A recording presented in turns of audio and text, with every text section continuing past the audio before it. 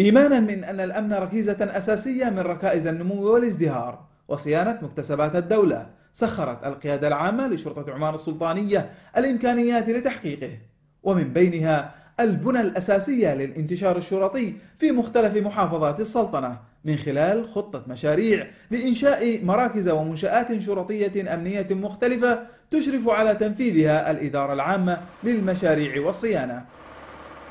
تحرص القيادة العامة لشرطة عمان السلطانية على تسهيل خدماتها وتطويرها وتوفير بيئة عمل مناسبة لطالبيها لتكون أقرب من آه، مواقعهم. يجري حاليا إنشاء ما يقارب 17 آه، مشروع بمختلف محافظات السلطنة. ومن المتوقع جاهزية أربع مواقع ومن أجل التوسع والانتشار في التغطية الأمنية يتم إنشاء مباني جديدة لمراكز الشرطة الحالية وإضافة مراكز شرطة جديدة ومراكز شرطة المهام الخاصة بمختلف المحافظات. فقد وقع معالي الفريق المفتش العام للشرطة والجمارك على العديد من الاتفاقيات لإنشاء مراكز للشرطة ومنافذ حدودية.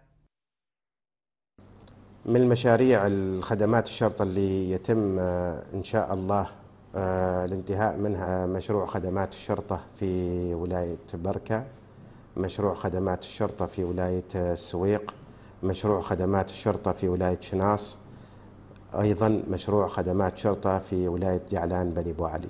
هذه المشاريع راح تقدم خدمات آه، الجوازات والإقامة وأيضا خدمات الأحوال المدنية وخدمات المرور.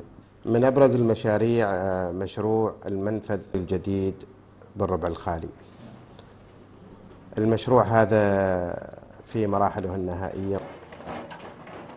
حاليا يتم تنفيذ آه، أيضا آه، مشروع جديد هو مشروع منفذ الأسود.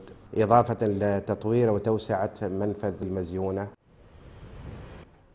تصاميم ونماذج لمنشآت الشرطة لتقديم خدمات متكاملة وفي مجالات مختلفة تهم بالمقام الأول أفراد المجتمع وتقديم وإنجاز خدماتهم الشرطية بكل سهولة ويسر وفي أقصر وقت وفق تخطيط استراتيجي علمي يواكب التطورات والمتغيرات والظواهر الأمنية.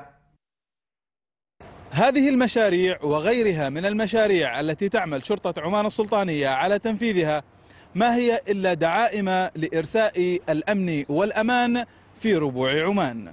الرائد سعيد بن محمد البداعي لتلفزيون سلطنة عمان مسقط.